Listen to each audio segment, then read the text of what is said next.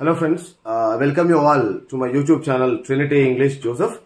And in the yesterday's video we have looked at the description of the persons. And friends in today's video we are going to describe about the place describe description of a place or describing places.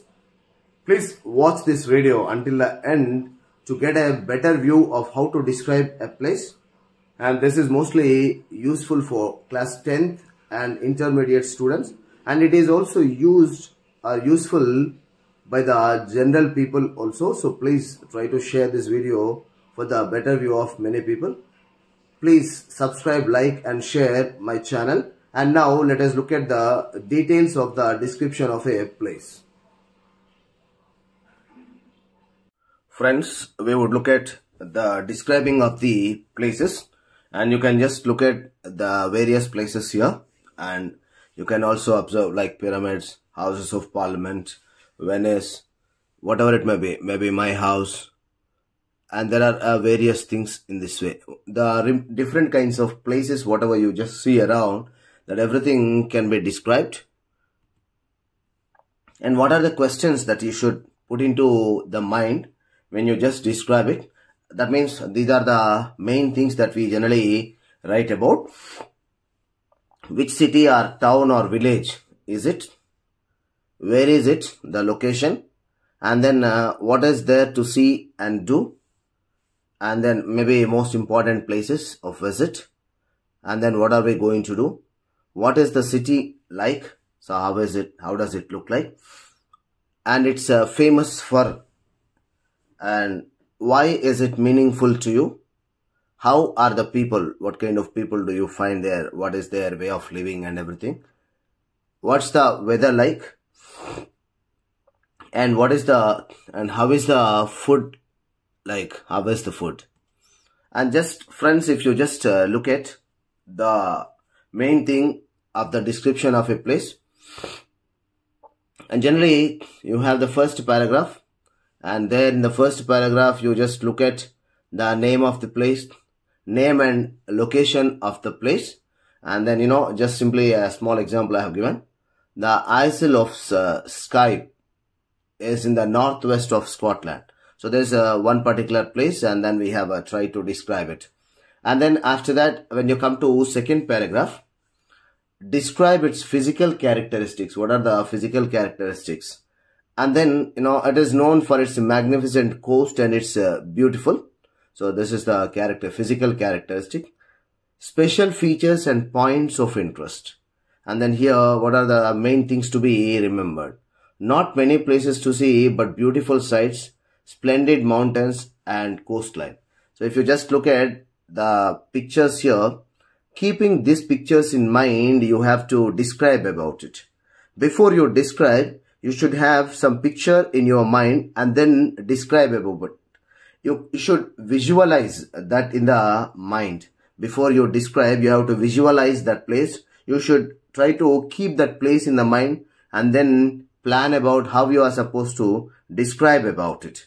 And if you just look at the third paragraph, friends, third paragraph, we just speak about the atmosphere of the place, people, culture and the lifestyle of it and then historical details. And then how are people what do they live on? And then historical details of the different other things. And then here after all these things finally we just make a conclusion. General conclusion about the place. And if you just look at i have given a small example here. The isle of uh, skye is a great place to visit if you like to look at beautiful landscape and traditional way of living. So this is the general conclusion that we can give to a place. And friends, what are the useful expressions that we do have here? It offers, the views are, you shouldn't miss, the atmosphere is, it's located in, it's far away from. What I don't like about it is the dislikes that you have about. It's well known for, it's possible to, it's got, you can see, it's close to. So these are the different specific uh, useful expressions friends. and then uh, if you just uh, want to talk about uh, the location you can also speak about it so you can see uh, by the sea on the coast and then in the country in the north the south west or east of something on the river name and then uh, in a valley on a plain. So in this way you would have uh, different things. Friends if you would like to describe about the atmosphere okay the adjectives are in this way. Peaceful and quiet not busy calm free from activities. Ancient with a long history you can talk about. Beautiful very pleasing on the eye charming picturesque so nice very pleasant in a unique way cosmopolitan city with a varied mix of cultures and languages boring, dull, uninteresting. That's what we are supposed to talk about. Bustling, bustling, a crowded, busy place. Compact, not very big within a small area. Noisy, full of noise or busy. And then uh, unspoiled, having an unaltered character, pure and immaculate. This is what we are supposed to talk about. And friends, to describe areas in town, downtown, the central or lower part of a city, especially the main commercial area. That's what we are supposed to. So I have given certain uh, terminologies here uh, to talk about. Outskirts, bordering areas or districts of a city. Suburbs, a residential district situated on the outskirts of a city or town is called as suburbs. And then industrial zone, an area for the purpose of industrial development is called as industrial zone and residential area suitable for residents. So these are all the different areas where you can just talk about or describe about. And then friends, if you just uh, just look at the buildings, cathedral, shopping center, library, swimming pool, theater, cinemas, sports center, museum, hospital, bank, police station, church, department store, chapel, supermarket, castle, hotel, motel, inn or hostel, arts gallery, university, skyscraper. So these are the some of the buildings that you can talk about.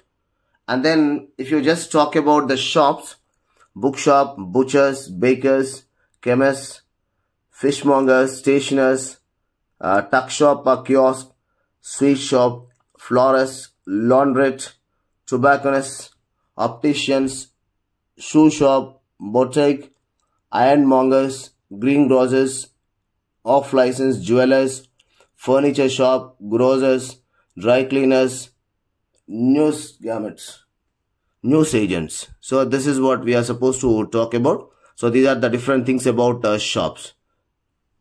And then friends, if you just look at, you just see about the types of houses, house, villa, beamed house.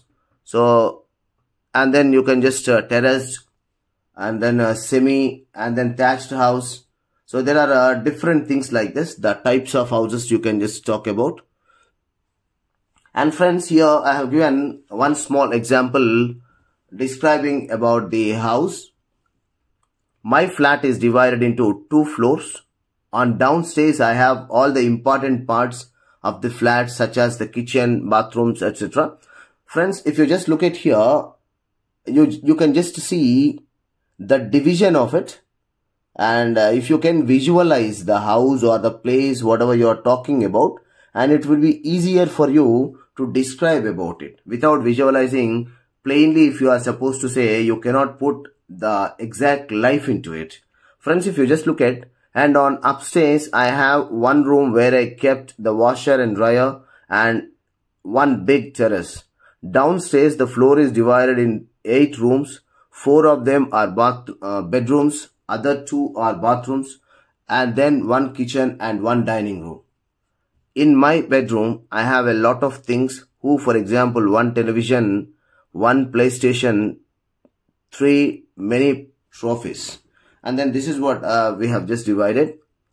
And then uh, pedal, etc. In my sister's bedroom, we have the computer and in the other two bedrooms are from for my from my parents and my other sister. Normally we eat in the kitchen, but on Sundays we eat in the dining room. in my flat, I have one storage room and two parking garage. So this is, uh, this is one small example, okay, in an easiest way possible. And we can also uh, add some vocabulary and different other things. I have just given the simplest form of writing and we can also make it better by writing in a better way. And friends, I have taken another one more place about Warangal. Warangal is the well-known city for the bravery of Kakatiya dynasty. It's not far away from Hyderabad, just 120 kilometers. The views are Fort Warangal, which is called as Ekashilanagar as it consists of a solitary rocky mountain along with a temple and a small lake on it. One shouldn't miss the Thousand Pillars Temple, Musical Garden, Ramappa Temple and the lake in Palampet. The good thing about this place is the people of this city are really warm-hearted. So this is one of the uh, essays that we can talk about, description of a place. And we can also make many more essays like this. So friends, uh, thank you for watching my video and please subscribe comment and then please uh, share to many friends so that they also can benefit from it and uh, they also will learn how to describe the things in a possible way. Thank you all. Uh, see you in the next video. Take care. Bye.